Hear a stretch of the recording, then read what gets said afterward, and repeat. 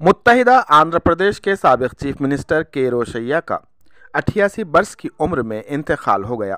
वो गुज्त चंद दिनों से अलील थे। रोशैया उन्नीस सौ अड़सठ में कानून साज काउंसिल के रुकन की हैसियत से आंध्र प्रदेश में अपने सियासी कैरियर का आगाज़ किया था। उन्हें 16 मरतबा कानून साज असम्बली में बजट पेश करने का एज़ाज़ हासिल है। तीन सितंबर 2009 को। वही एस राजशेखर रेड्डी की हादसाती मौत के बाद उन्हें आंध्र प्रदेश का चीफ मिनिस्टर बनाया गया था।